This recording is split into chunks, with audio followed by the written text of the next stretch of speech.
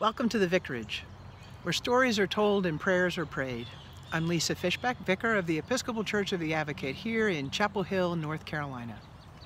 In this season of the Vicarage, we've been gathering by the Advocate Pond to tell the stories from, of the women from the Episcopal Church's great cloud of witnesses.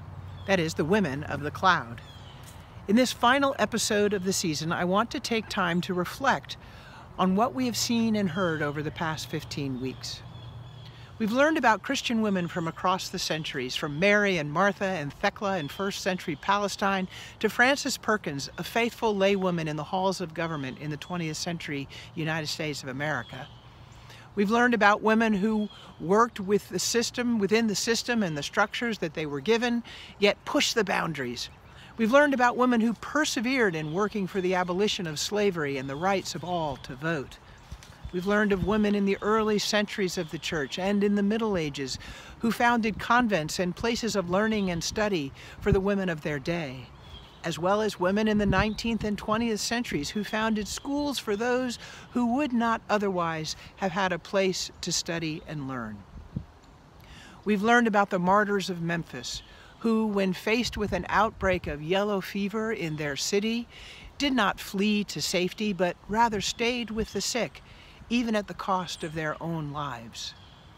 We've learned of women who spoke the truth to power, and so many others who helped the poor and the homeless in their neighborhoods and cities. Ah, it's quite a list. Macrina and Bridget, Hildegard of Bingen, Catherine Winkworth, Amelia Jenks Bloomer, Sojourner Truth, Margery Kempe, Vida Dutton Scudder, Florence Nightingale, Artemisia Bowden, Prudence Crandall. Each of these women, in her own way, were ordinary and extraordinary, each committed to living the life of Christian faith as they were able and as they were called. I'm reminded of the reading from Ecclesiasticus that we used to hear each year on the Festival of All Saints. Let us now praise famous men. But I'm not thinking about that opening line so much as the part where it says, some of them have left behind a name so that, uh, so that others declare their praise. But of others there is no memory. They have perished as though they had never existed. They have become as though they had never been born they and their children after them. But these also were godly people whose righteous deeds have not been forgotten. Their wealth, wealth will remain with their descendants and their inheritance with their children's children. Of these women, unknown to many, we are their descendants, descendants in the faith, descendants in the struggle, descendants, I pray, encourage.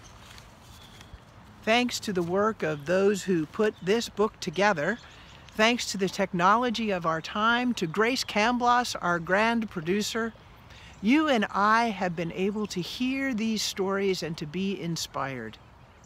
It's been a good season. In season two of the Vicarage, starting in November, the inspirations will continue as we shift our attention to the saints among us.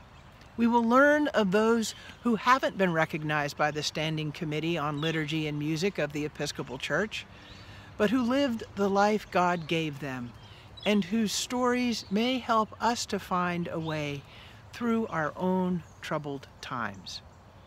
Stay tuned and be well.